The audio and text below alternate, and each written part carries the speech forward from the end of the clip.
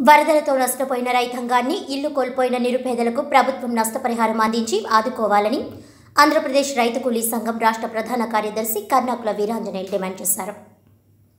రంగవల్లి నగర్లో శుక్రవారం విలేకరుల సమావేశంలో వీరాంజనేయులు మాట్లాడుతూ రంగవల్లి నగర్ కాలనీ వరద ముప్పుకు ఇరిగేషన్ అధికారుల నిర్లక్ష్యమే కారణమని ఈ విపత్తుకు రాజకీయ పార్టీల నాయకులు పూర్తి బాధ్యత వహించాలని డిమాండ్ చేశారు. పోలవరం కాలువ అనేది జిల్లాలో రాజానగరం మొదలుకొని తుని చివరి వరకు వెళుతుందని అయితే అది కేవలం జగ్గంపేట మండలంలో రామవరం గ్రామాన్ని నీటితో ముంచెత్తడానికి ప్రధాన కారణం ఇక్కడ ఉన్న తాజా మాజీ పాలకవర్గం నాయకులని అన్నారు.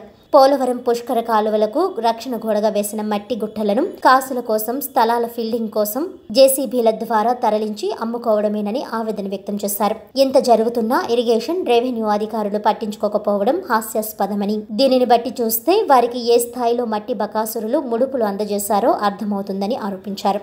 తక్షణం ప్రభుత్వం బాధ్యత వహించి ఇరిగేషన్ అధికారులను సస్పెండ్ చేయాలని.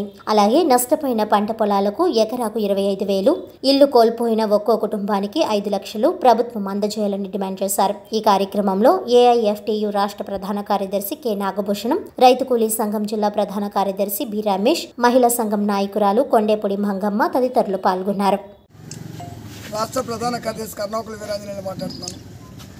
ప్రధానంగా ఈ పోలవరం పుష్పరాల కాలువలు ఏవైతే ఉన్నాయో ఈ కాలువలు ప్రభుత్వాలు తీసుకునేటప్పుడు ఎంతవరకు తీసుకున్నాయో ఈ క్షణం వరకు మొత్తం ఇంచుమించు లేదంటే యాభై అరవై పర్సెంట్ కబ్జాకు గురయ్యాయి. ఏ ప్రభుత్వం అనేటువంటిది ఏళ్ళ ప్రభుత్వాలకే తెలాల. గత ప్రభుత్వాలు ఇప్పుడున్న ప్రభుత్వాలు దాన్ని కంటిన్యూ చేస్తున్నాయా దాన్ని మరి బ్రేకప్ చేస్తాయనేది భవిష్యత్తులో చూడాలి. ఎందుకంటే ఇప్పుడు దాకా వెళ్ళిన ప్రభుత్వాలు అన్నీ కూడా మొత్తం పోలవరంలో తీసుకున్న ఇల్లు రైతుల దగ్గర భూము ఇవన్నీ కూడా కబ్జాకు గురయ్యాయి ఎవరు ఎక్కడున్న వాళ్ళు అక్కడే కబ్జా చేస్తారు ఆ భూముల్ని. కబ్జా చేశారు వాటిలో వ్యవసాయాలు కూడా పెట్టేశారు ఇప్పుడు ఆల్రెడీ. ఏది పోలవరం తీసుకున్న భూముల మీద. అలాగే మిగతా విషయం ఆ కాలువలో తవ్విన మట్టి ఏదైతే ఉందో లక్షలాది ఎకరాల లారీలకు సంబంధించినటువంటి మట్టి కూడా మొత్తం తూర్పుగోదావరి జిల్లా ఎక్కడైతే ఉందో ప్రధానంగా జగ్గంపేట ప్రాంతం నుంచి రామారం ప్రాంతం నుంచి తూర్పుగోదావరి జిల్లా ఎవరికి మట్టి అవసరమైనా ఈ ఏరియా నుంచి మట్టి వెళ్ళాలి. ముప్పై వేల ఎకరం ములుగుపోవడానికి కారణం ఎవరంటే ఈ మట్టి మాఫియే. ఇంకోటి ఏమీ లేదు అందులో. ప్రధానంగా ఇక్కడ ఇక్కడ ఇక్కడ గండి కొట్టింది అంటే రెండు కాలువలు లేకపోయిపోవడం సంచలనం. రాజమండ్రి తులిదాకా ఉన్నాయి ఈ కాలువలు. ఎక్కడా కూడా గండి కొట్టలేదు. అంటే ఇక్కడే గండి కొట్టడానికి ఇక్కడే మాఫియా పెద్ద మాఫియా ఉంది. ఈ మాఫియా వల్ల ఈ మట్టి మాఫియా వల్ల గండి కొట్టింది తప్ప ఇది ప్రకృతి వైఫల్యం వల్ల తుఫాను వల్ల వర్షాల వల్ల వచ్చింది కాదు. రెండు కాలువలు లేకపోవడం అనేది సంచలనం.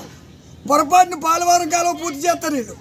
మరి పోలవరం కాలువ పూర్తి చేసినప్పుడైనా ఈ కబ్జాదారులపై చర్యలు తీసుకోకపోతే ఇంకా మరింత ముప్పై ఏర్పడే అవకాశాలు కూడా ప్రధానంగా కొట్టొచ్చినట్టు ఉన్నాయి ఎందుకంటే పోలవరం కాలం పూర్తి చేసి ఎవరికాడే కబ్జా చేసి కూర్చుంటే మొత్తం రాజమండ్రి నుంచి వచ్చే గోదావరి నుంచి వచ్చే నీరంతా మొత్తం ఊళ్ళకు ఊళ్ళే మునిగిపోయే అవకాశాలు కూడా ఉన్నాయి. లక్షలాది ఎకరాలు పోయే అవకాశాలు కూడా ఉన్నాయి.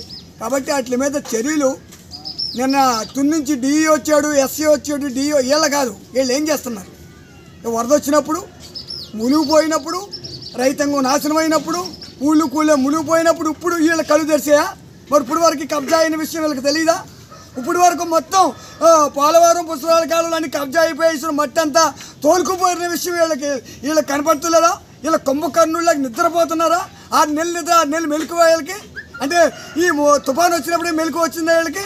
కాబట్టి వాళ్ళ మీద కంపల్సరీ మట్టి మాపేమే చర్యలు తీసుకోవాలి. ఏదైతే కబ్జాకు గురైందో అన్నట్లు కూడా మొత్తం హ్యాండ్ఓవర్ చేసుకున్నప్పుడు ఏదైనా పురోగతి ఉంటుంది లేకపోతే ఇదే పరిస్థితి. భవిష్యత్తులో ఎన్ని తుఫాన్లు వచ్చినా కూడా మరిన్ని అవకాశాలు మరింత మునిగిపోయే అవకాశాలు ఉన్నాయి తప్ప తేరే అవకాశాలు లేవు. అలా కాబట్టి జిల్లా మొత్తం లేదంటే ట్వంటీ ఫైవ్ పర్సెంట్ మొత్తం పంటలన్నీ నాశనం అయిపోయి వీటికి నష్టపరిహారం ఇవ్వాలి అనుకుంటే కేంద్ర ప్రభుత్వాన్ని కూడా రాష్ట్ర ప్రభుత్వం ఆర్థికంగా డిమాండ్ చేయాలా? సపోర్ట్ చేయాలా? సపోర్ట్ చేసినప్పుడే ఈ రాష్ట్రాన్ని రాష్ట్రంలో రైతాంగం ఎదుర్కొంటున్నటువంటి ఇది ఈ తుఫాన్ ద్వారా నష్టపోయిన రైతాంగాన్ని ఆదుకోవాలని ఖచ్చితంగా కేంద్ర ప్రభుత్వం కూడా చొరవ చూపించాలని మా ఆంధ్రప్రదేశ్ రైతు కూలీ సంఘం రాష్ట్ర శాఖ ఈ సందర్భంగా డిమాండ్ వరద ముంపుకు గురైన నలభై వేల ఎక- నలభై వేల ఎకరాల పంట నష్టానికి తక్షణ సాయం కింద ఇరవై ఐదు వేల రూపాయలు కేటాయించాలని ఈ సందర్భంగా జిల్లా కమిటీ డిమాండ్ చేస్తూ ఉంది. అలాగే ఇల్లు కోల్పోయిన నిరుపేదలు ఎవరైతే ఉన్నారో ప్రతి కుటుంబానికి కూడా ఐదు లక్షలు తక్షణ సాయం అందజేయాలని డిమాండ్ చేస్తూ ఉన్నాం. ఈరోజు ప్రధానంగా ఈ వరదలకు కారణం పోలవరం పుష్కర కాలువల మీద ఉన్నటువంటి మట్టిని ఇక్కడ బడా రాజకీయ నాయకులు బడా వ్యాపారవేత్తలు సిండికేట్గా ఏర్పడి ఇక్కడ మట్టినంతటిని కూడా రియల్ ఎస్టేట్ పేరుతో వెంచర్లకు తరలించడం వలన ఈరోజు ఇంత పెద్ద ముప్పు మనకి వాటిల్లిన విషయాన్ని ప్రభుత్వం గుర్తించి వాటి మీద చర్యలు తీసుకోవాలని ఈ సందర్భంగా డిమాండ్ చేస్తూ ఉన్నాం. అలాగే ఎక్కడ చూసినా గ్రామాల్లో చూసినా పట్టణాల్లో చూసినా గ్రామకంట చెరువులు గ్రామకంట భూములు పంట పొలాలకు వెళ్ళే కాలువల మీద అక్రమ కట్టడాలు ఈరోజు విలయతాండం చేస్తున్న పరిస్థితి. వరదలు వచ్చిన టైంలో నీళ్ళకి కాలువలు కట్టించి ఉన్నారు ఈరోజు ప్రభుత్వాలు. ఆ కాలువలు సరిగ్గా పనిచేస్తున్నాయంటే ఆ కాలువల విస్తీర్ణం తగ్గించి ఈరోజు పాలక వర్గాలు అధికారులు లాలూచిపడి ఈరోజు అవి అక్రమంగా కబ్జాలకు గురవుతూ ఉండడం వల్లనే ఈరోజు ఇలాంటి విపత్తులు సంభవిస్తున్న విషయాన్ని కూడా ప్రభుత్వాలు గుర్తించి వీటి మీద కూడా చర్యలు తీసుకోవాలని మేము డిమాండ్ చేస్తా ఉన్నాం.